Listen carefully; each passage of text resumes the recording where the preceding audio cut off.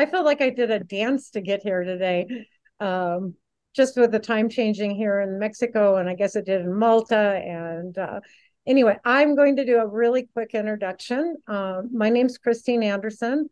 Claudia and I have had a website and two YouTube channels for seven years now. Wow, seven yeah. years, huh? There's yeah. there's a magic number. I guess so. I guess this yeah. is a magic day. and I would like to introduce our good friend Randy Maugans of Off Planet Radio. Um, and Randy, you and I had a conversation last week. I would say probably after it's been a year since we had spoken. It's and, not been that long. Uh, we did uh, a joint oh, we did, we did. Yeah, earlier in the year sometime, sometime with uh, Shane and um, uh, our friend Niels Coons, yeah. and um, Claudia was in on that as well. Mm-hmm. So yeah, gathering of the community from time to time. Yeah. So kind of leading into what's running around in my mind this morning, and it's been there for a while. You and I talked last Sunday and we went into the logos we went into the christed body we went into a lot of things that i think are probably the most important themes that we could speak about in this closing of an age mm-hmm. and using your eye eye of the needle metaphor something that i'm very in tuned with also and where where and what and how do we become the beings that we know we are inside in this closing time. So, Randy, I just, if you just give a little introduction, even going back to your days in alternative Christian radio, doesn't have to be too long, and where you are today. So, I started uh, on shortwave radio with uh, a network out of uh, Oregon in 2003. That was after I was on local radio, AM radio here in southern Pennsylvania. And um, that was basically a sojourn into what was called alternative Christian radio at that time, meaning it was kind of a blend of the patriot movement and the religious movement that was moving outside of the established church system. So, one of the big topics at that time was the fact that the churches were incorporated under 501c3 licensing here in the United States and that that is uh, what you call tacit contracts with Vatican, Bank of England, uh, World Bank. In other words, the, the churches or corporations that are linked to what we call the hierarchy. And this was a movement that was moving outside of it. It was going into home churches. It was also at that time responding a lot to what had happened in uh, Waco as a result of obviously, you know, going in with military and tanks and plowing down an entire community and killing men, women, and children, and um, the Oklahoma City Murrah building bombing as well. So there was not unlike today. There was a lot of reactionism coming from what you now call the far right wing, the MAGA movement, and this um,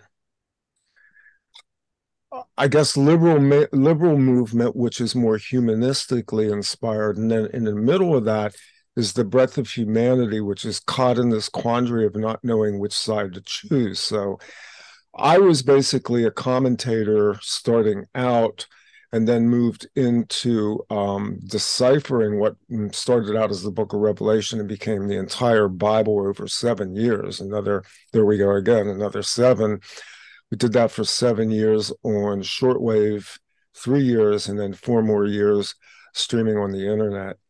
At um, the junction of about 2010, 2011, um, I separated myself from that to a large degree. That was the formation then of what became off planet radio. And it was my desire then to move off planet radio in a different direction, more towards the esoteric. I wanted to talk about the deep state. I wanted to talk about UFOs, extraterrestrials, uh, occultism, uh, I did not want to be hamstrung any longer by the doctrines of a church that told me that I was a sinner born in sin and had to make atonement through a third party who had allegedly died a horrific death on the cross for my sake. And so I, that began the long journey coming forward to where we are now. In 2019, I sort of deplatformed again. I had been working with Emily Moyer on Off Planet Media, and I went into the eye of the needle in uh, exactly. Today is, by the way, Halloween, October 31st. It is Samhain. It was exactly three years ago that I began the eye of the needle. It was Halloween night of 2019. So, um, hmm, boy, a lot of convergence here. So that's that's the thumbnail sketch of where I come from. Okay. Yeah, and so here we are, you know, and I, I, I uh, coincidentally, and I think a lot of us in, let's just call it the truth, love, resonance field, we're all getting information. We're receiving mm-hmm. it through our own unique voices, just as I got, and I when I didn't know you were doing, but I was doing writing about yeah. the eye of the needle, mm-hmm. right? And mm-hmm. So uh, one of the things I think is really important, maybe it'll enter, uh, drive us into a deeper conversation, is we mm-hmm. were speaking of, and I'm feeling it, and I'm seeing it all across the virtual world right now, where people that are really awake that have gone through uh, ancient texts, lost history, UFOs, abductions, MK Ultra, all of these aspects and coming to this point of perception, which is there's a script being run, and this goes to Revelations yeah. also. There uh-huh. is definitely a script being run, and it it's like our withdrawing our consent and our energy from that script because with the prevalence of our our laptops and our phones we can always be connected to the prevailing story of the moment and we can watch how humans go from COVID to mm. Ukraine to this to that. Right now, it's Elon Musk and takeover of Twitter. But I mean, but you know, it's like when I look at it, and I've been feeling it really strongly for a good month, more and more, is like this is to keep us driven in their narrative instead of using our own creative abilities and becoming that which we are so that our consciousness is the prevailing consciousness that's going to bring us in to whatever new epoch we're going into. And it's just helped me a lot to at least know that. Like I can look at headlines and get all the news I need. Yeah. Which is how much news do you need? So to unravel some of that, most of what we function in is what I call the construct, the simulacrum. Um, our friend Jason over at Archaix calls it the simulacrum, the simulacrum. Um, we're in some sort of materialized existence realm that either was created by us, for us, or by some third party to ensnare us. And so even within the construct itself, in the present age, and because of the ubiquity of devices, computers, phones, tablets, televisions, and the blanketing of the planet with the World Wide Web, the spider's web, um, we live in an information field. We've always we've, we've always lived in an information field to some degree, even going back into what so-called primitive times man was driven then by the natural world, which is an information field as well. It's a very sophisticated information world.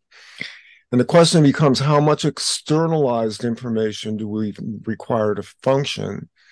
And what is the nature of that information as it interacts with our consciousness? What is our consciousness? What is the core of all of this? And increasingly, if you look at the world right now, you see the schismatic nature of it in that mm, it's so highly polarized that literally there's things you, most things we can't talk about. You know, we can't have public conversations anymore that contest the major narratives, whatever they are, whether they're COVID, whether they are they are the uh, political estates that are warring factions, both sides, the, the, the two divisions, red state, blue state, MAGA versus the liberals, these are all schismatic eminences that that have forced us supposedly to choose between one side or another when in fact what we're viewing in my opinion are really just fragments shattered shards of a mirror that broke a long time ago that is our our consciousness as a collective. And you know this obviously drives it right into i think where you've gone with your recent articles on on uh, earth empaths as, as well. Well exactly. And you know i mean we use analogy in our language mm-hmm. and one of the things i pointed out in the last piece i wrote was that our ability to to speak has been really curtailed because people don't understand the words they use matter of fact they hardly use words anymore most times that I'm in, in communications. It's yeah. emojis, misspellings. And so I have to use my intuition to even understand what the person is trying to get across. But during all of that, you know, I mean, I'm going to use an analogy right now uh, because it kind of divides between now. I know Claudia is really into growing mushrooms, the world of mycelium, fermentation, the organic realm. Uh, and yeah. And so for me, that organic realm, that mycelium, that interconnected language between the trees, the plants, and all of that is somehow representative yeah. of our organic reality. And then when you look at spiders' webs, because you brought that up, and I I sat with it for a while, Randy. And you know what I remembered? I remembered back on on that forum that I was the moderator, and Claudia and I were moderators mm-hmm. on uh, when people were first becoming aware of the technological abilities, a lot of people were having an experience of seeing spiders, uh, mm-hmm. astral spiders come out of their devices. And it was quite a, a phenomena for a while, right? And so it, it's, uh, and then I had just heard somebody else say, well, if you took a spider web and you took it out of the gossamer beauty and the light and the shining in the nature where it's connected to nature and you made it uh it's the web itself is super strong we see it as super fine and gossamer but what, if you were to project it out into a larger cable it's mm-hmm. almost breakable and so you can kind of see the metaphor there of what they're trying to do with the digital realm yeah. And you know, and, and pull us all into this technological mainframe of control system, which, in my opinion, and I'll let Claudia speak here because I know we've talked about it, it's not going to ever work. I already see it breaking down. It, it can't because it's only an imitation of nature. And there are like, there are places in life where you need to imitate or copy what nature does. But when the moment this turns towards the evil side, because we live in a dualistic world, I mean, that's, you know, there's no denying it. Mm. Um, the moment it turns that way, it turns away from nature and it becomes all but a cheap copy. You know, made in China toy lasts five minutes. Right. And it, it can never imitate spirit. that's no. the that's the that's the I think for the most folks right now is like what is spirit? What is the what is creator? Where is the spirit coming from? And you can go take it to the ether. It's the all-pervading field of intelligence that can't be copied. It can't be hacked. It can't be. And how much power do we as individuals have within that manifestation? via our own resonance. You know, I mean, we can get even getting out of our intellectual uh, understanding of a lot of things, whether it's scripture or, or we, we pick up from somebody else's the, simulation, the simulacrum, the holographic universe, which probably fits our worldview. Uh, who are we within that? Those primordial questions that are very challenging to anybody, well, any ego no matter what ego it is, what's trying desperately to hold on to something that is clearly going away. Yeah. so, a number of things there. Who are we? in this creation. And, you know, it goes back to, and you cited it in your article, I believe, I think, therefore I am. And on this plane, this field, this construct, our thoughts define us both individually and collectively. But our thoughts, as I believe uh, Ouspensky pointed out as well, really aren't ours either, at least not most of them. So even within our thought processes, there's kind of inside of us a, a spider's web as well. Oh, look at the kitty. That's Katrina. Hello. When cats show up, you know you're having the kind of conversation that that that's going the way it's supposed to.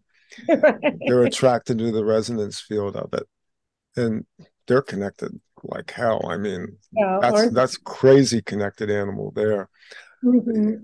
So the natural world is is the closest thing that we have is an extension of our biological existence, in my opinion. It is the closest we can anchor to something in material world that is true to our character and our nature. Now, having said that, if you look at nature, much like the construct of humanity, we like to think of nature as placid and gentle and ever effervescent and flowing, and it is all of those things, but it's also a violent kingdom.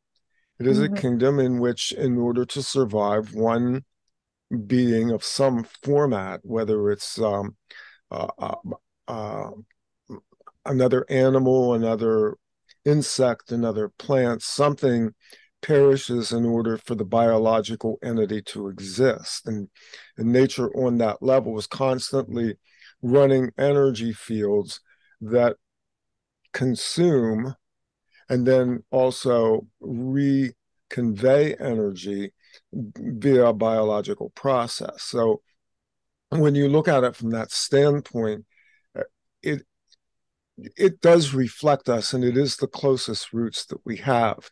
When we reflect upon nature, we probably see the truest format for what we are slash were meant to be which begs the question meant to be by whom and we'll hopefully get to that down the road but i you know in reflecting on nature it's the place we can go to to reconnect to who we are biologically and also etherically because in nature the fields are wide open right now we're in the season of halloween samhain which is a liminal season. It's a season between seasons in that it's kind of twilight. It's the twilight of the later part of the year. And it's said that the veil thins and that the nature spirits come forward, the ancestral spirits come forward.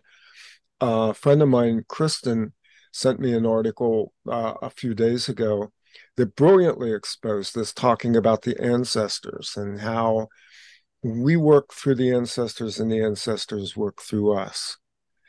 And Kristen knows me. She's followed my material. She knows that my guides, the receivers, have talked extensively about the continuum, which is a part of us. And in explaining that, I will say that that from the standpoint of what I've been writing with the receivers material, there is a continuum, and that continuum consists of us as soul beings. It consists of us as being multiple beings in multiple times at multiple points in time, mm-hmm. or what I call aspect selves. And then the continuum also goes into the oversoul higher self and the ancestral beings who inhabit what we call our personal conveyance through space and time. And so, in honoring the ancestors, we essentially reach both forward and backward at the same time. I had an experience years ago when I was still doing Bible prophecy where I began exploring words in the Old Testament having to do with the word generations and what that exactly meant. there was almost like it was almost like a revelation at some point to me anyway of looking at the Hebrew words, which when you're using um, all of these different uh, concordances to decipher Hebrew, uh, Hebrew is a very different language. It's read from right to left. It has numeric values within it.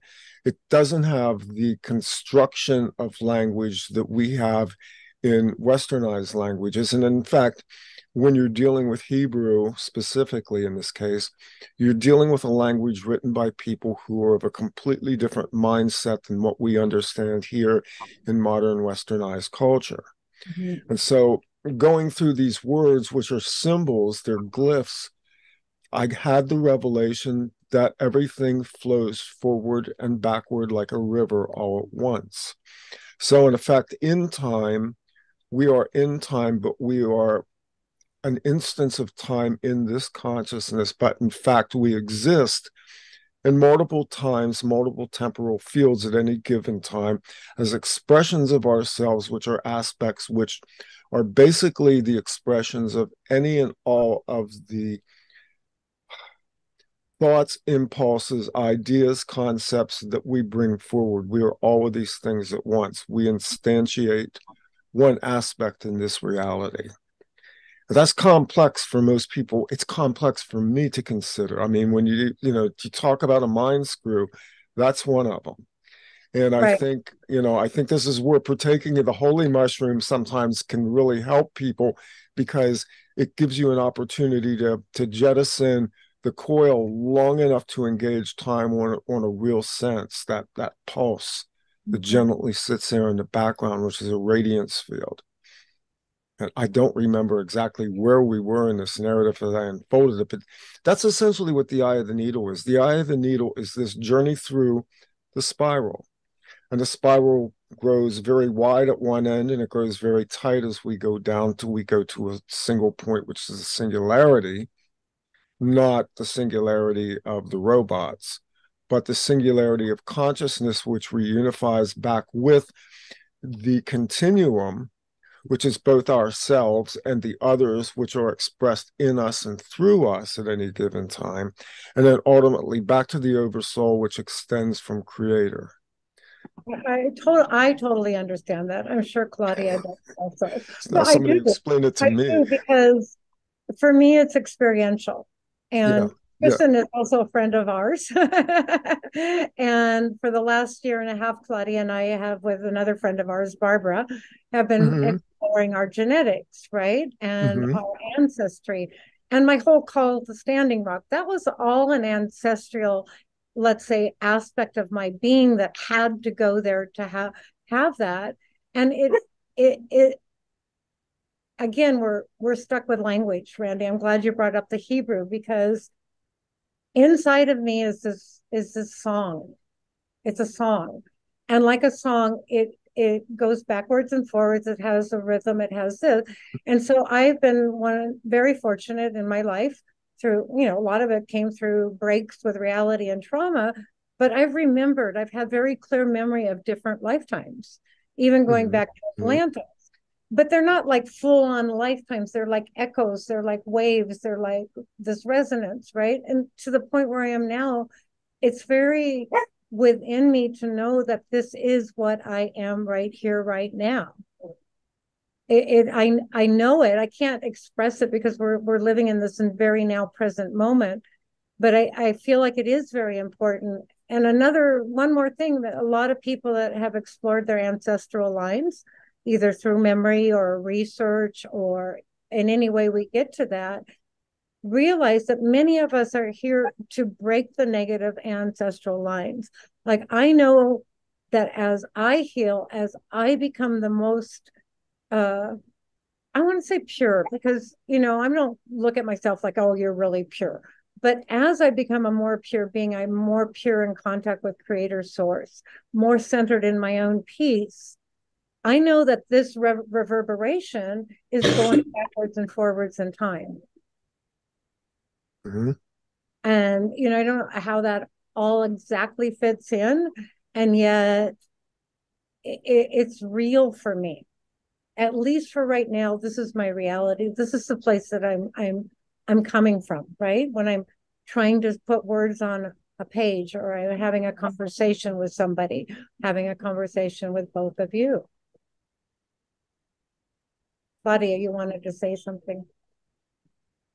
Yeah. Um, the way I'm seeing it, like the more we search and learn from our search, from our trauma, from alleged mistakes we make, and so on and so forth, it's kind of, it's like, Randy, you said like the singularity.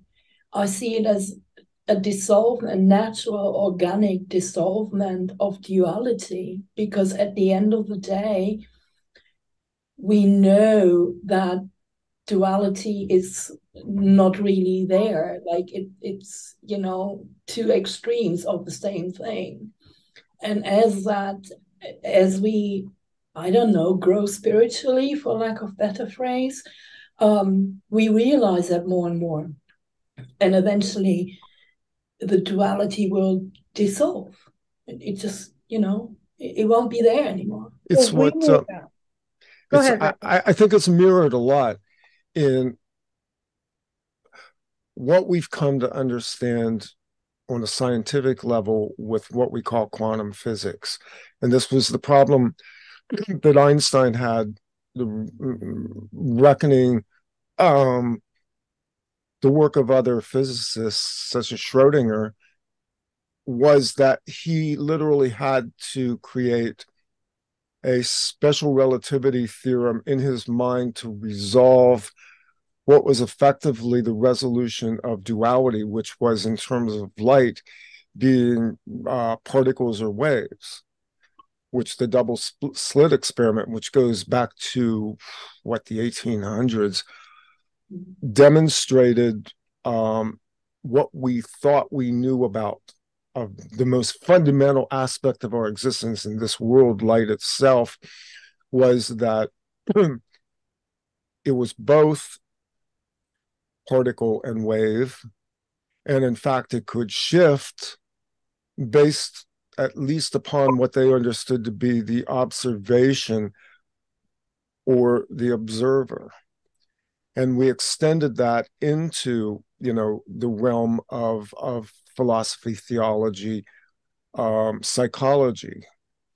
Um, again like einstein i think freud would have freud was freud struggled with this although i can't remember reading anything freud had to say about it directly based on what i understand about freudian's freudian psychology he would have struggled with it, whereas Jung seems to have embraced it to a, a wider degree. So that taught us that duality isn't real. It is simply a question of two states being reconciled at any given time into what we would call a single beam of light. And it's interesting because light becomes the metaphor even in the New Testament. You know, mm-hmm. I am the way, the truth, and the light. And, and it's constantly underscored in that way so that we understand this again the duality between light and darkness you know and, and, it says the light saw the darkness and the darkness comprehended it not why because darkness is a void and light is a full presence of an energy eminence and so you know even dealing with the constructs of the universe expressed through our theological texts. We're still dealing with duality, which means we have to deal with duality, even though I think people who meditate, people who do entheogenic drugs at some point understand there is a point of collapse, and it's a collapse of consciousness, a collapse of time, and that we live in between in this liminal state. So here we are on Halloween, the twilight of the seasons, and we are, in fact, in a twilight of a season of an age. Exactly. Well, it, it's interesting. Again, we use words. So duality, right? And then there's another word, word called polarity, right? Mm-hmm. And so, as I understand it through study of plasma physics and electrical universe model and all the other you know ways of trying to find out what is this realm we're living in polarity is the fundamental basis of physical material reality right? But it's ethereal also, right? But you have the negative and positive charge, you mm-hmm. have the magnetic field, right? And within that field, this creation takes place. I think the duality aspects comes is that we're divided within ourselves more than anything else, right? We have these two hemispheres. And like you brought up earlier, the right's arguing with the left, right? So where's yeah. our central point of unity, right? And perhaps all of this is just a setup from whenever the creation and you know as we're going through this time and like you say we're at the end of a season we're at the end of an epic like how do we and this is my search right to formalize within myself a crystalline of enough of a of an understanding a light if you will that has taken in all of it. It's not leaving anything out. It doesn't leave out the shadow. It doesn't leave out the games. It doesn't leave out the the horror. It doesn't leave out the joy and the beauty. It's all of it. And so i had a thought this morning. I'm kind of curious to what i think but I'm like, every once in a while, and I'm sure we all experience this all the time, there's like doubt. There's a shadow of a shadow. A shadow of a doubt. Right. But now it came to me this morning, it's a shadow of my shadow. In other words, it doesn't have a huge amount of power, but it's a necessary part of me because it's always reminding me as I go into my thought or my analytical processes or having an encounters with people to remain aware. It's just that. Like we all can make mistakes. We all do make mistakes. We all have thoughts sometimes that are not of the highest form. So in a way, it's sort of like all of a sudden my shadow became just my friend. But in in that in that essence of it, so because I feel uncomfortable when I'm not like on and I'm not vital energy and I'm not out there moving through the world with some sort of like purpose or whatever. And doubt tells me or shadow tells me, slow down. There's no hurry here. Take time to rectify within yourself that which you are. You know, so that because I feel like this is going to become the most vital aspect of moving through this eye of the needle or actually, the other metaphor is the eye of the storm. Can we stay? Both, yeah, it's the same. Yeah. Okay, right. Steady. Can we be seated in peace? Can we be not moved by all these outer forces? And they all the outer forces have been to drive us away from home, been drive us away from the, our own being.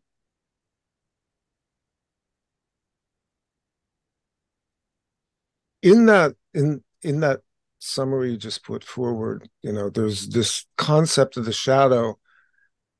The shadow is real. Mm-hmm. Um, the shadow, like the reflection in the mirror, is what tells you that you exist in a world of darkness and light. It's that contrast. Mm-hmm. And the more I've gone through this, is just from a personal standpoint. um, those who follow me know that you know I've had the last few years have been difficult health wise, that I've grappled with my physicality to a large degree, and I'm happy to say that I'm doing really well right now. Having said that, I've also had to grapple with mortality and grapple with you know what is this body and what is my responsibility to it? Is it me? Is it the totality of me? Is it an expression of me? And in moments when I have been, let's just say, facing mortality, when I'm willing to concede, okay, this won't go on forever. Um, you know, I certainly don't feel like it's over, but there is a finite timeline that goes with with mortality. Mm-hmm. And there is also the point where you begin to try to reconcile a physical existence with what is beyond that something that you know i think i think most of our culture avoids this it's interesting you're in mexico and mexico sort of embraces this because they have these celebrations of the dead and they sort of embrace that and and western culture our culture seems to want to reject all of that it's almost it's denialism on some level you know we don't want to deal with the shadow. We don't want to deal with the corpse. We don't want to deal with what sits on the other side of the so called veil. Right. While at the same time, we are hurling through the veil collectively as, as humanity. And our shadow is being shown to us magnified thousands and thousands of times right now. If you just look at the world that has evolved I my starting point sometimes is 2012 because I do think there was something to 2012. I think where it really kicked in was the Great Eclipse in 2017. I believe that was a fulcrum event that shifted what I call the temporal platforms on planet Earth, and for a period of seven years. I also believe that this time was sort of given to us to deal with our shadow aspect on a collective level. Mm-hmm. So hence you have you have basically a collapsing world system. I mean, just you you look around, nothing works. I mean, and, and, and we don't you know, and for people who think that it, it requires total collapse, don't speak that into existence because it is necessary that the system not totally collapse in order for us to sustain our physicality within this world. There's a civilization, there's a structure. Somebody once said to me, um, were it not for the occultists and the Freemasons, we wouldn't even have indoor plumbing. And to some degree or another, maybe that's true. I don't know. Uh, it seems to me like probably if you look at the people that are doing Tartaria research, it looks like they probably bombed the hell out of what was the last great civilization and handed us the sh- shards of it, the remnants of it, to rebuild something. And we've sort of, again, going back earlier, we've sort of built a crude representation of what these great civilizations once were. Nevertheless, whatever level of civilization we have now sustains us physically, and we shouldn't denigrate that.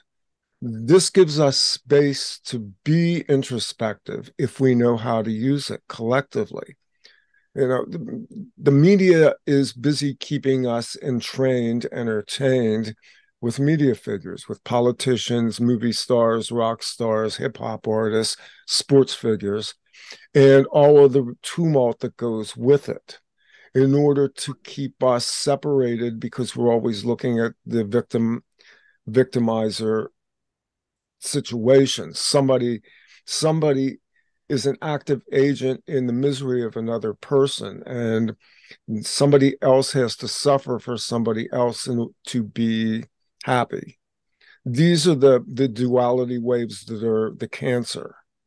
The real cancer isn't duality; it's our injection into them on that psychological level where we're interacting with negative synthetic energies that are created to keep us inside of the rabbit hole rather than being able to ever surface. Yeah, I, I, you know, I've looked at a lot of Tartaria and a lot of other ancient, you know, uh, history. And matter of fact, even Tartaria now, because of the way it's going, I think once we put a label on a movement, that movement starts to corrupt itself mm-hmm. because people become the voices of it, right? And well, that so- movement came out of flat Earth, which had, you know, that had been sort of taken over as well. There were truths. There are truths in all of this. I'll talk about all of that right now in my own perspective because it it is all within everything that's being and I, first of all randy let me say i agree with you that the negative emotion of wanting to see it all collapse is in itself a negative emotion. Mm-hmm. okay? And but when you were talking because of uh i don't call it flat earth. I call it the still infinite plane of creation. Right? Because that takes it out of the physicality of it. And people mm-hmm. are going to talk about that back and forth forever. Right? And so when you're sitting in the let's say you're sitting in magnetic north on this plane of creation right? That means you're upright and you're in tune with the creator with the the true north pole of your own being it runs through mm-hmm. everything and so when you were saying that it was like there's something in motion let's just call it for the moment the firmament with all the luminaries and all these, they're all intelligences. And they're Yes. all moving in a in a manner that if you can tune into it, you will you'll see this great harmonic happening in the higher mind. Mhm. While the lower astral plane is all what you said. It's bring somebody else down, get mad. You know, I mean, even I'm guilty of it to some degree to when I say NPC or things like that. Yeah. And yet when I'm in contact with physical because I have this cafe, right? So I get to see people come in and out. Surprising sometimes who comes in here and who does. And I have what I, I I know is the salt of the earth friends. They don't know any of the stuff we're talking about. But they're salt of the earth. They're good people. Yeah. You know, and they're just such good people and they're they're doing so they don't I, they don't get anything. I mean, we'll talk and we'll discuss things, but there is uh you know, from the Beatitudes, right? You know, uh, just different aspects of what we call Jesus. We could just say a Christ voice said is like, be loving and be kind and forgive your neighbors and forgive your enemies. These are these are things that don't sound just like coming out of my mouth. You have to sit and contemplate what is the meaning of that.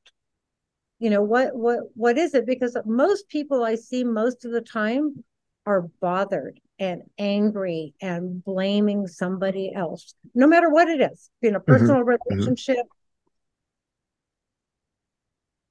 Claudia, I'm interested in what you think about the expression of this duality.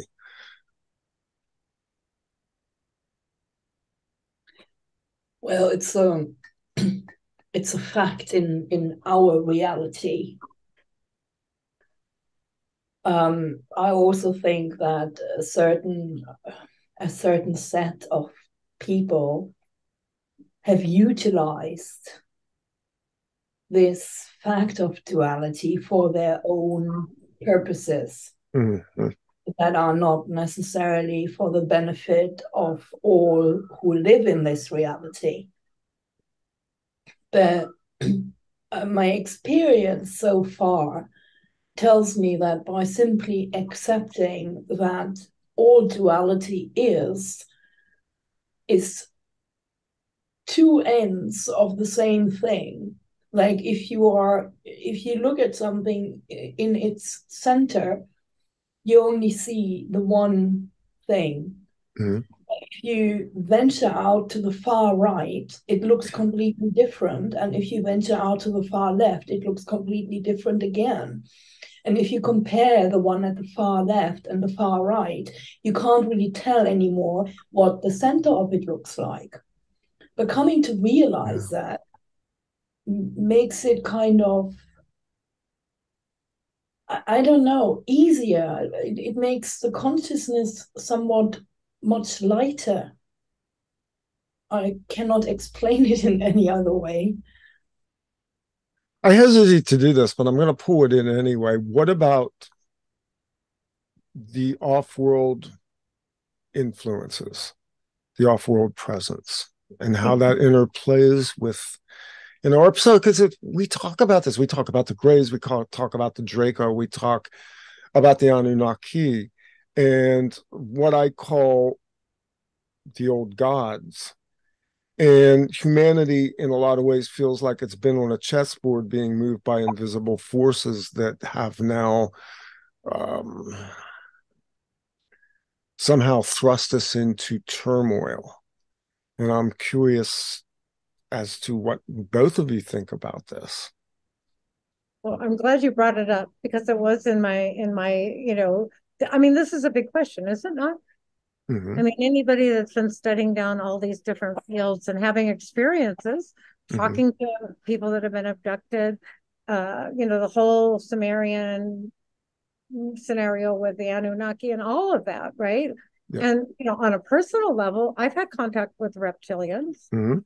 Not in a physical form, but in the astral form. And like we were talking, Randy, my communication was completely telepathic. It was an exchange Mhm. of consciousness, Mm. right? Completely. Uh, Claudia has always said one thing when you're confound, uh, confronting anything that appears scary, Draco, you know, outworld, something you've not really give it your consciousness.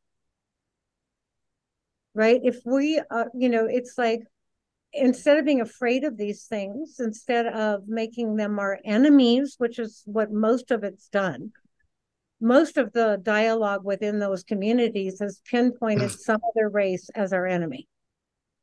They did it.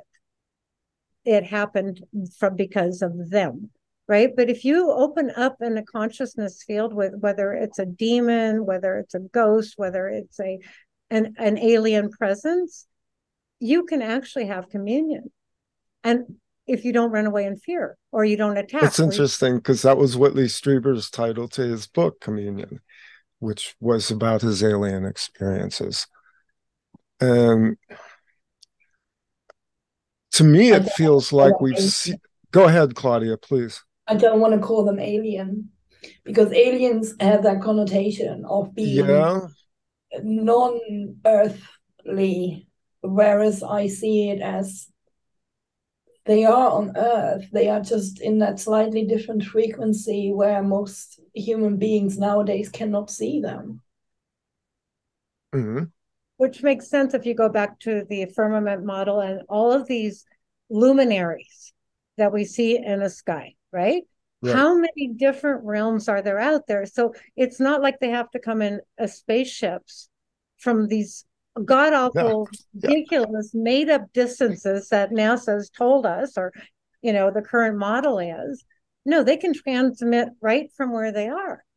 You know, so we're having an experience like that's why I like to call it the infinite plane. Right. So mm-hmm. all of these things, whether it's coming from you know Orion or Pleiades or Sirius or any of the and I've had experiences with all of these intelligences. Mm-hmm, mm-hmm. Right? And so I don't need a construct that says they came and invaded. They're right here, right now. All of it's right here, right now. And you know who who tells us that they don't belong here? How come most people assume they don't have as much right to live here as we do? Yeah, hence the word aliens. And notice how that word's been weaponized. I mean, look how yeah. oh, look yeah, how it was weaponized first in, in, in its application towards um, other beings, we'll say, from other realms, and then yeah. how it's been weaponized against people who how are you how are you an alien on your own world if you're human? Well, that's where knowing where a word originates from, or even, you know, looking up the meaning of a word in a dictionary from 100 or 150 years ago is really, really helpful because the word alien meant someone who is not in his own country. So if I'm going to the US, being a non US um, human, I don't like using person um, that makes me an alien. From elsewhere, basically from elsewhere. Well, yeah. And I mean, if you come to Germany, you are aliens mm-hmm. because you're not Germans. So, how do you feel about it, Randy? So, it's it's it's complicated. First off, the concept of the alien has to do with legal statuses, which goes into a whole other conversation. In other words, uh, the establishment of nations and races upon the earth and the divisions of those goes way, way, way, way back in time. Mm-hmm. And we assume that we came from one, you know, whatever it was, some alpha monkey, which is not true and that we were some sort of divine spark creation rather than looking at the reality that perhaps we ourselves are terraformed beings biologically mm-hmm. and i've and i've come to accept that i've come to accept it based on my own encounters with the beings and also based on everything that i've i've come to know is that what our whatever our physicality is whatever the construct of our physical eminence in this in this realm. We are not that we are spirits we are souls who came in to inhabit bodies that were created to live in this realm. And when you begin to look at it from that standpoint you suddenly realize that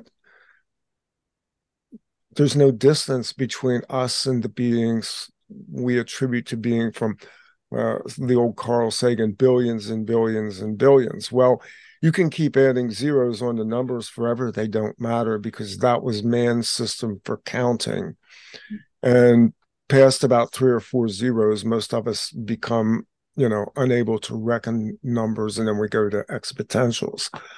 But the truth of the matter is that you can collapse the universe into a single point and you can expand the universe and you can do the same thing with time. We can collapse time we can collapse space in our consciousness.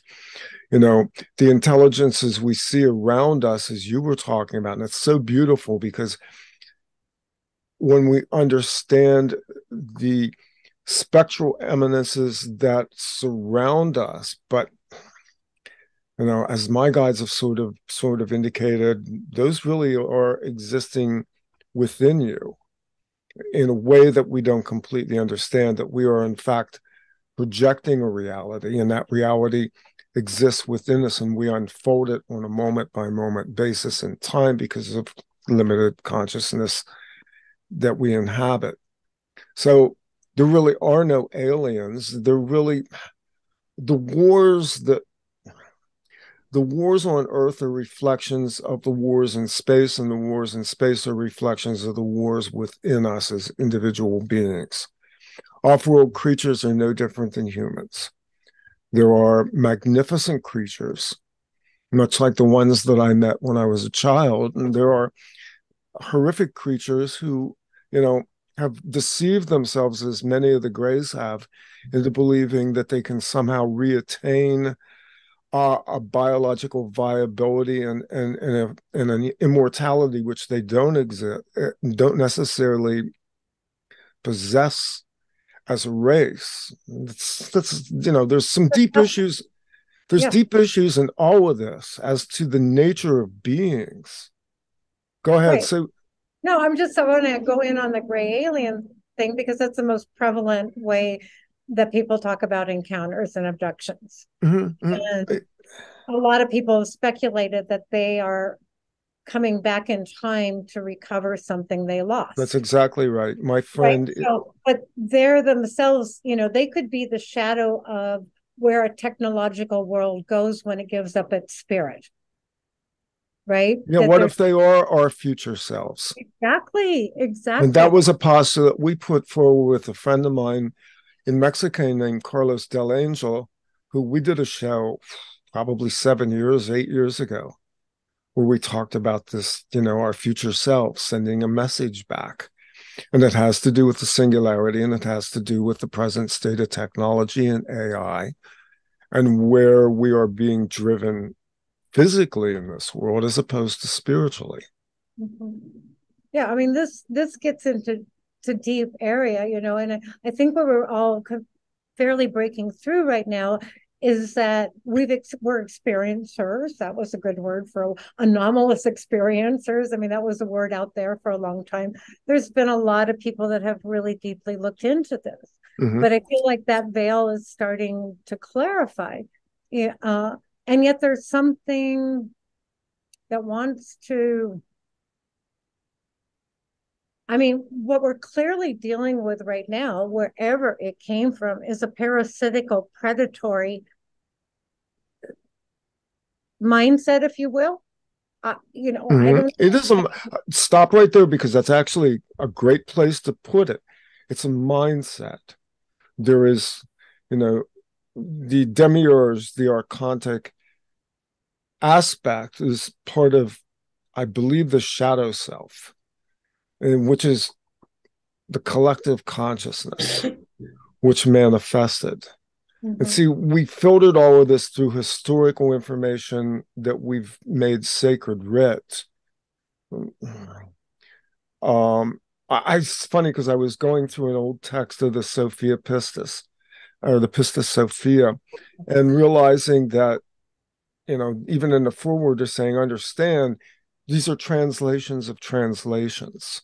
The books that we have, this is the problem we bump up against with research, is that whatever we research, it is researching and mm-hmm. it's reliant on a background of material that pre-exists our knowledge. In other words, we're taking it on authority that such and such happened linearly in a particular procession of time. And yet, what the guides showed me so brilliantly was how holographic inserts operate and how time can literally be.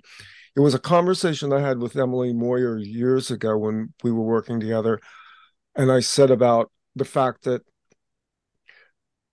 looking back on my life, there were times when it felt like there were missing frames of film in a movie.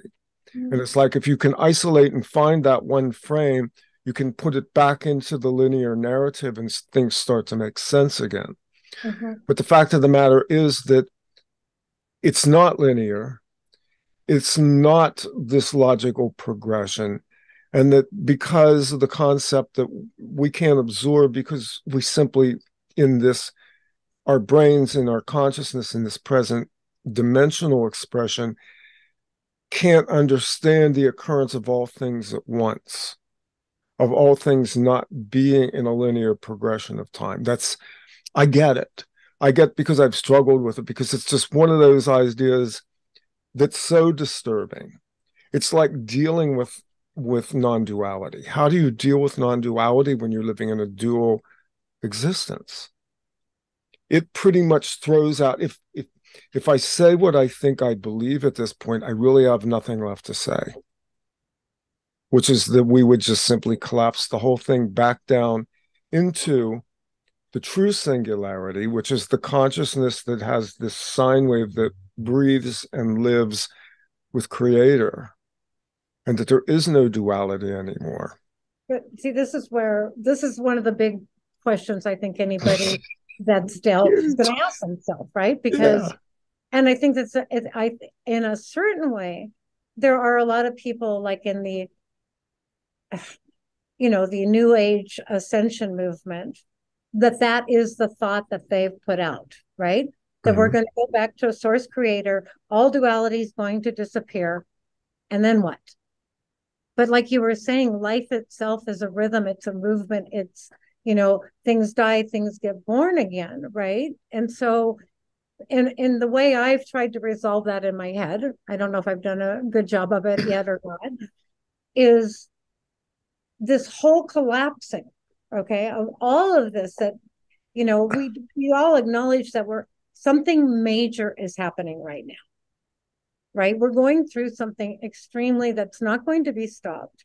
So the I start to feel it as this compression, this compression, and it's taking all of these timelines, my ancestors, my knowledge, you know, everything that that's experienced, like you were saying, and all these other uh, uh, existences that are happening right now, and it's compressing it into, let's call it a crystallized being, which holds all that memory, but it compresses it down, if you want, to a diamond heart that's why love is the most important thing that we realize right now. Mm-hmm. And we don't know what love is.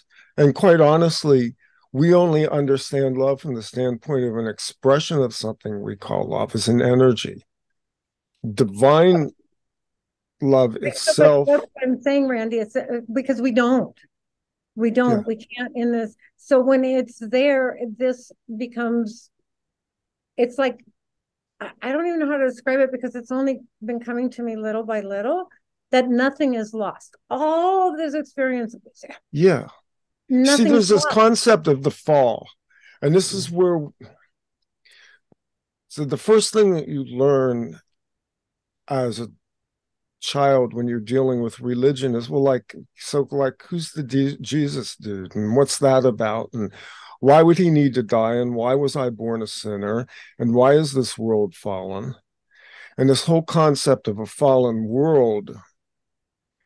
And what if the major premise in all of this is that we've conceived ourselves as imperfect, broken, fallen, separated, divided, and polarized. But in fact, that's just a stream of images that we're experiencing while at the same time we've never left.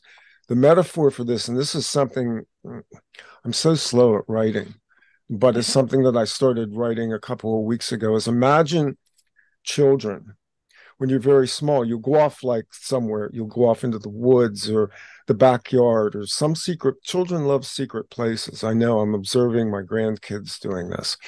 And we go off and we have this imaginary world that we build.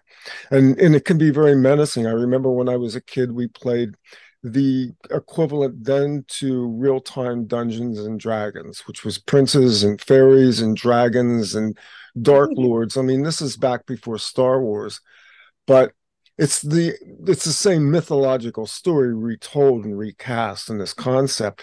And we go into this in our imaginations because we're expressing duality. But at the end of the day what happens is no matter how dark that world that that child built is the dungeons and dragons scenario the child goes home to mom and dad and he's safe back in the house and there's a warm meal there and there's a bed and there's love and there's comfort and if you just extend the metaphor a little bit, you understand that we're experiencing a world which is giving us the concepts of duality and the experience of duality, but at the same time, there's a part of us that never left. We never fell, we never departed from the whole. We have simply individuated consciousness into a collective and then fragmented and sliced it and diced it in a way that it's very real and it is a simulation. And this is something i had pointed out years ago to i think it was walter bosley that i was engaging with. And and because i knew he would get the metaphor i said but this, he said i'm tired of people saying this is just a simulation. And i went well simulations are useful. Did you ever play microsoft flight simulator? Because he was air force. I mean they train pilots using software simulators for a reason.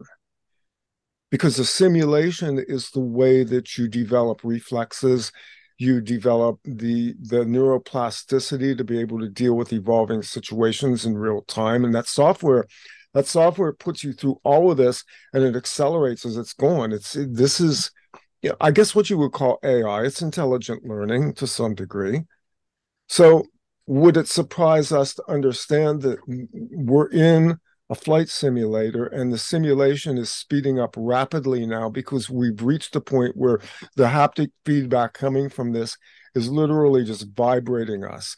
It's vibrating us in a way that we then can go to another frequency where we get the ability to stand even if just a moment outside of this construct of reality and view it from the standpoint of the eternal. And i think that's what this is about. it does it doesn't reject any of this I, I'm going to go be a kid right now, okay? Because that's yeah. really, really, really important. You know, this is this rediscovering the wonder and the innocence of an inner child, right? So when you said flight simulator, that's what I want to call this reality now. Yeah. It, yeah, yeah. learn how to yeah. fly again. I thought that was brilliant, but no, it is. And that's why uh, I think the three of us could talk for but I wouldn't bring Claudia into this because I to- told her a little bit about our conversation, right? Mm-hmm. And what is that word? Interpolation. I guess you say it, Randy. Interpolation. Interpolation. Yeah. Which comes into writing software code, and you know how we interject something into something that's pre-existing. May I say it that way? That's a fair. That's a fair assessment of it. Yeah. Okay. So Claudia and I, because we've been together and we've been playing together for a long time, and um, and it just hit me. It was like, shit, all this internet, all these banking systems, all these tracking systems, all this software that's out there, right? I mean, we can't even comprehend how much software has been written. Reservation systems, you know, the whole thing, the apps, the, and I'm thinking the task of trying to bring us into the mainframe is that they're tweaking constantly. They're interjecting code, right? But they've Drives got me crazy. And, and but they've got this base platform software, right? So they're mm-hmm. just putting in new code. Well, it's not all computing very well. That's why, you know, and I thought, huh, I wonder if they're going to bring it down by doing this because it seems like a fool's mission to me. And unless they've got somebody or they're right rating new systems right now and they're going to take this all down and put something else out. I don't know. It's just like the glitches are so they're they're stupid. I don't think they have the capability. I don't yeah. I agree. Yeah, I don't think so either. And so like there's this thing of like evil has the seeds of its own destructions within it. Yeah. And you know, we don't need to get all upset and get our pitchforks and you know, go protest at the Capitol. We just need to be like you were saying what's the interjection of our consciousness with the whole thing? I find I just stopped entertaining all these thoughts put out there by the media, by the internet, whatever, all this caremongering, this, that, and the other. And it makes myself feel much clearer when when there's no chatter of things, most of which are lies anyway. Well, you're you know. seeing it in, in, your industry. You know, they're changing the programs in her. Oh yeah, I mean, uh, glitching like crazy. Glitch they're, trying to, they're trying to comply with all these new regulations, and if it's a multinational, every bank, every system, they all have these new regulations of control they're trying to put in, and like here in Mexico, I mean, they're putting making people have apps on their phones to do online banking. Nobody in the banks even knows how to operate that. Mm-hmm. You know, so it, it it is very very tenuous. Let's say. This is um, this is where we hit the singularity. But you know, I go back to the '90s and dealing with some of the concepts of what was called the singularity. I was on Usenet groups, which is old school internet, going back to dial up telephones and BBS boards in the 90s. And there were groups then on the BBSs called extropians, which were futurists. And many of those futurists are the people that you now have being paraded before you on the internet, presenting these ideas. This is where software developers lived in in the late 90s, uh, probably from the mid 90s forward to about 2000 when the internet began to mature. And the concepts that they were putting forward were exactly what we're being told now. Uh, it, it was pre meta, it was pre immersive holographic AI, but it was then looking at the biological human as largely being an inconvenience and the expression of consciousness being digitized to the point where we would eventually go into a holographic landscape. It was basically the design that's distilling millions and millions of messages and signals over the years. I walked away from it realizing that this was extremely mechanistic, humanistic perspective, scientism. In other words, taking the sum of knowledge we have scientifically at any given point and using that as the means to define ourselves, when in fact that field of knowledge is always expanding. And in fact, the, the flaw of AI and the flaw of the singularity and the flaw of all of these software updates, which is us, this is the point, I dare say, of the programs that were put into place during the pandemic was largely to create a system where they could begin to do biological updates mm-hmm. and to have a gateway into the human biological system and specifically RNA DNA complexes as a means to gain access to something that sits beyond this dimension. This is one of the things that the guides bring out in the receiver's material. What the flawed aspect is that we've conceived that DNA is two strands of components and the interaction of the RNA and then the synthetics, which is now the mRNA. And they have assumed that this is their gateway towards gaining command and control on one level digitally of what I call the eternity codes, the human existence beyond the construct, beyond the realm, beyond the perception of this present reality. And see, this is the alien gray concept. This is very much mm-hmm. not all, and you know, you paint with a broad brush because it's not all of them. But the abduction scenarios that were presented as being, you know, alien grays largely had to do with that type of situation where people were abducted, people were put on tables, they were examined, they had um, biological materials extracted from them. You know, I think we understood that the Greys were kind of cold and emotionless and did not understand our emotions. That was my experience. But that on one level, the Greys, again, being a projection, a us in the future coming back to attempt to re negotiate the situation that they created as a result of their own blindness.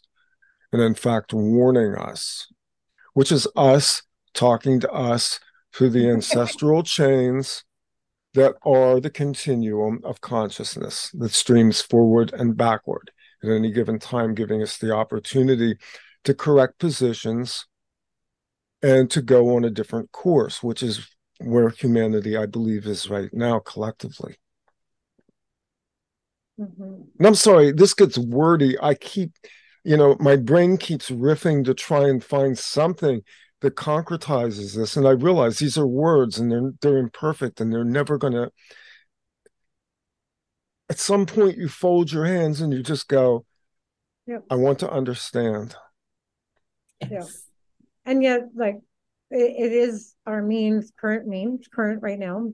I mean, we talked about communion, and there is a there is communion happening all the time, but we're talking into a screen, distances away from each other, and so we you know, if we just all sat here and vibrated, I don't think I'd be very interested. And maybe that, well, that's kind of, you know, sort of what you do on a spiritual journey. At some point, right? You get your right. mantra, and you sit and you meditate, and you come into come into a place of presence. Wait, wait. Just a side insert. Have you seen i know you you know frank jacobs right?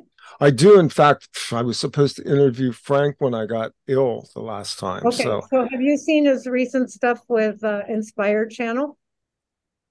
It's i've called, not actually viewed it. I'm aware of it Okay, so I he did the Looking Glass, and I wasn't interested. Right. I know Frank also. I doubt he remembers me at all. I've met Frank. I met Frank, both Frank and Tanya. Me too. So, 2013, yeah. I believe. Yeah. Yeah. So I met them in 2012. So, eh, but this particular series, it's really, really Frank has like matured a lot, and he, they're talking about exactly what you're saying, Randy, but it's a synthetic Christ consciousness. Mm-hmm. That's the term they're using for it. And it makes, from what you're saying right now, it makes a lot of sense to me, right? And but the way that he gets in, they get in really deep to the HeartMath Institute, to all these uh, outer layers yeah. of what's really driving it, right? And it all sounds beautiful and good, and we're all going to get together and meditate. And we've got monitors all over the planet, and we're going, you know, we're going to be but now they even have an app that'll tell you if you're in the right frame of consciousness. Mm-hmm. Right. Mm-hmm. And so you can just see where they're pushing, and it is coming through this.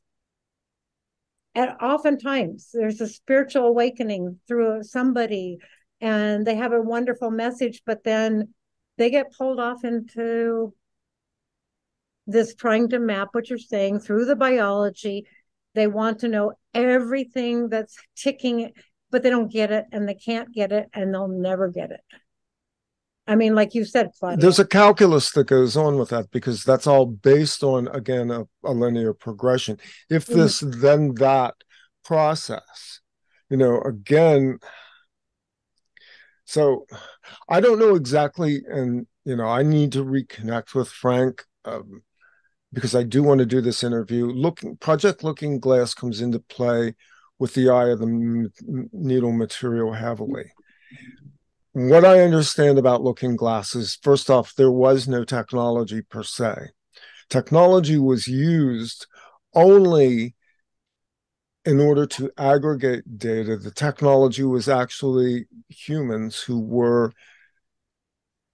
harnessed to a telepathic system that the military was using just as, as it had designed in the original SRI remote viewing experiments out at, out at Stanford Research Institute. And that they discovered that, that the human being has the ability to pierce the temporal veil and gather intelligence. This is the essence of remote viewing, but on a, exactly. on, on a temporal level. The problem with it is that they began using this intelligence information based on the concept that time itself is linear. Time itself has a cause and effect progression. See, I don't know how they don't know this because at the same time, they're dealing with off world beings who do holographic inserts. But somehow or another, they had the idea that they could continue to work this. And they used it through 2001 forward especially and before this as well, but specifically after 2001, they were heavily reliant on it because they were very nervous about the 2012 window. Mm-hmm. And in 2010, and I was told this by a remote, a female remote viewer who was a part of part of a, a, a special access program, who left the program, and the final communication I had with her was that the system had come down. They no longer had a window. They no, no longer could see. They could no longer project outcomes reliably. That the, the collective consciousness that had been Project Looking Glass itself had started to disintegrate. In the face of the 2012 window, they could not see past it. Mm-hmm. And so basically, what Looking Glass was, was a, a, remote viewing program based on a temporal window that was disappearing. And then what happened is we got to 2012, and if you remember, I remember how many people were so pissed off about 2012 because A, the world didn't fall apart, and B, we didn't ascend. Well, those were all those were all concepts that were dependent on our expectations and our own projections of this. I mean, a lot of people just look like fools. But the truth of the matter is, something did occur and continued to occur. And the occurrence, in my opinion, and this is only my opinion and it is only my interpretation, was the eclipse in 2017, which showed me the shifting of platforms. And that shifting of platforms being this projection into a seven year period where we were deterministically able to begin to understand and then act upon the information we were getting collectively about our reality, how to get that view outside of the simulation long enough to understand it, and then integrate our experience here with whom we actually are. In other words, the kids in the tree fort coming back home for dinner. Mm-hmm. Well, in in my words, it's the prime directive. Mm. Just what you stated like and that's why i feel a lot of us are withdrawing our uh, attention to the outward manifestation mm. of a comic book narrative that's breaking down every time you look yeah. at it we've done our work there okay mm. our, our literally the awakening truth consciousness those that truly sought truth not just the next big story that, that they can't keep it together. It, it, we don't we that work's done. And i think what you're saying right now randy is that the where we are is that reconnection with all the aspects that we've talked about today. Whether this is the shadow of the I that is having that's yeah. always been home. Right? And that there's nowhere for i to go. I am. I mean it's so mm-hmm. I get goosebumps when i say it because i don't yeah. even really know what that means I just know it has a resonance in my field, and it, it, it as I, I wrote, and I, we were going to have a, I was going to have a surprise for you today, Randy. but it didn't manifest. And that was that Jeffrey was going to join us. Oh, that would have been so awesome. That would have been yeah. The beans to Claudia. I had the Right opportunity to revisit that. Oh uh, my God. Right after I talked with you on Sunday, I had a extremely similar conversation with him. And I mean, he is ready to come and talk again, but he's in Canada and he's got a bad connection and I, he Well, send him my love because I will. He'll hear. I'm rebuilding my website, and that was one of the first things that went back up was that video. So what he Um, said to me, and it was just like all of this, all these words the three of us are putting out right now. If you're reading scripture, if you're reading ancient text, if wherever you're investigating where your heart lead heart leads you, this can only be understood with the heart. Mhm. And, Yeah. and and and it doesn't often, most of the time, it does not transcribe to language as we know it. But we've talked, we've touched on some really, really like, I'm all excited here. Yeah, I'm kind of vibrating too. I, I, I think uh, where I've been the last few weeks is that uh, on some level, this became an industry, the truth industry. Exactly. Oh my God. you know, I, I came to realize, I came to realize that if what we talked about today, if we summarize it, and I'm still writing, I I want to put a book out, but I want to put the book out because I want to summarize my experience of doing what I've done for the last, we'll say, 11 years. I think once we summarize it, there's on some level nothing to say, which sort of kills the whole industry. and maybe that's what we have to do is we have to kill the industry. I, I think being able to spin through this with words. And you know claudia is the least wordy of us here today. And, and in some ways yet your presence was kind of very much felt in terms of how you emanate a certain concept and idea of both who you are and who we are. I'm like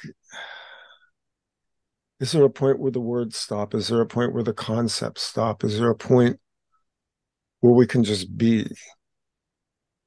and maybe we underscore that i don't know um Well, it's, it's taking a moment, a breath right now.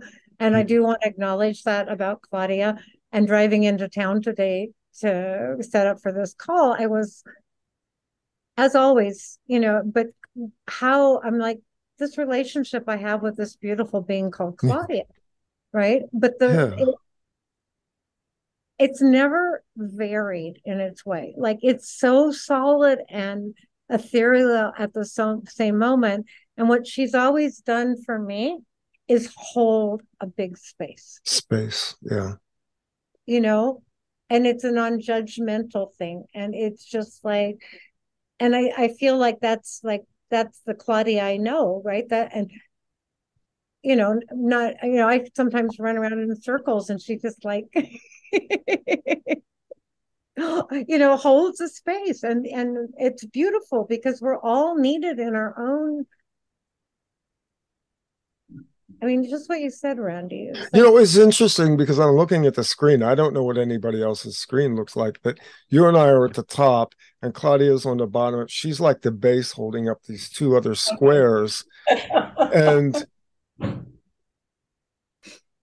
it's a solid foundation. I really like sort of the the the triunity that that occurs of, Mhm. of doing this kind of conversation, and it was probably ordained that we do this is the three of us today. Yeah, I, I think so too, Randy. And I know we can go on, but you know, you've already brought up how many more words do we need? I think we've given people enough.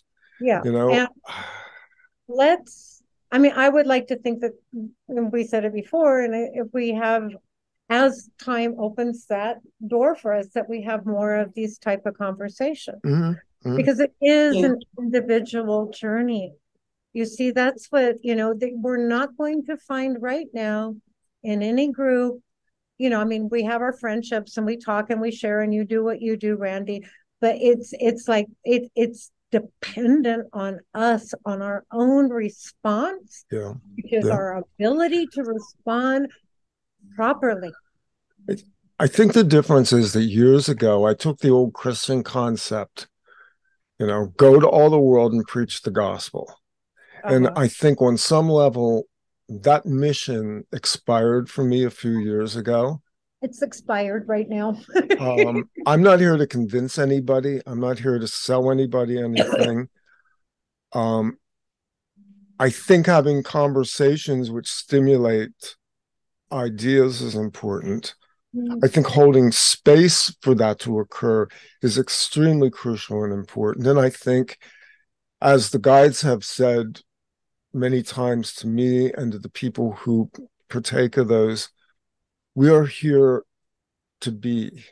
We are here to express ourselves as beings of light, energy, in forms that interact with the environment and with other beings in ways that we don't completely consciously grasp that ultimately your presence on this world, every person here, is equally important because it's a dynamic balance of beings and the conflicts, the chaos, mm, these things will resolve over time.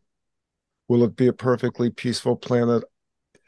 It will never be perfectly peaceful, but we can resolve to move to the next level and hold space for a time when we do move out of the construct long enough to see the big picture again and that's that's really the goal from my standpoint.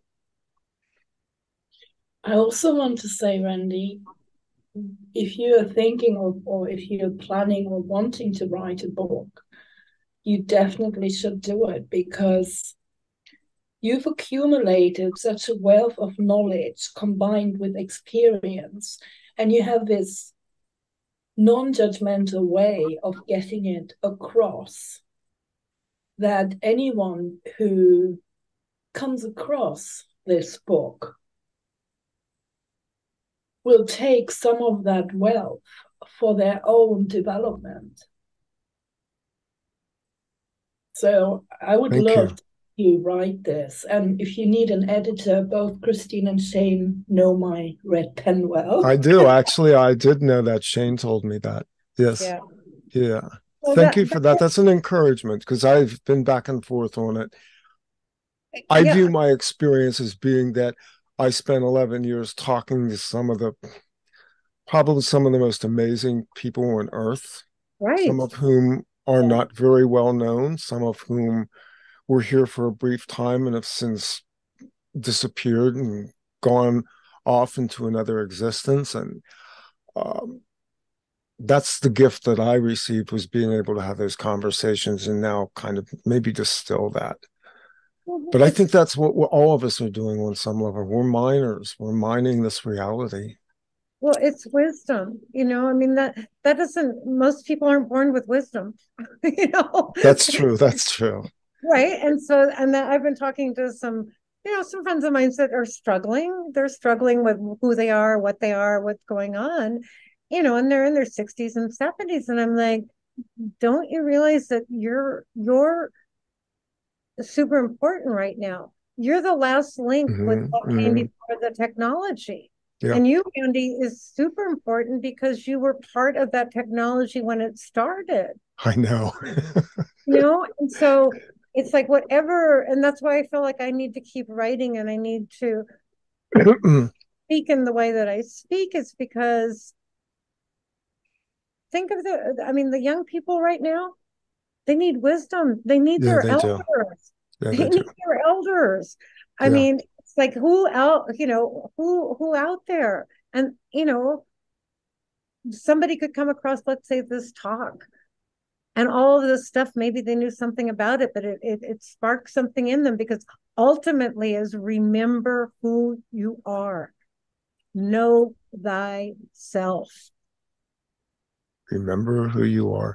That's probably the best words the best words of all. You know remember and, who you are. And and we've already gone over all of that. So you know and i realize that the, that is the one thing that's been Claudia holds this beautiful space with all that's in it the music, Mhm. the music of the spheres, the, the whole thing. And I realize that, you know, I, that's always been my message to anybody I have contact with. It's like really wake up, really remember who you are. Yeah. And it, you know, it comes through me now through my ancestry. It comes through me now through, you know, uh, my own remembering. But that's all I knew I had to do was if I could wake up, if I could remember, and then inspire others to do the same because it goes against the whole front of the construct. Mhm. It's not an easy task. Construct. Hmm? What construct? That's we'll end on that. What construct? what construct, guys? Exactly. What construct? Oh, the one you build around you. Love you both so much. Love you too. Love you both. Um, this has been awesome. I'm vibrating.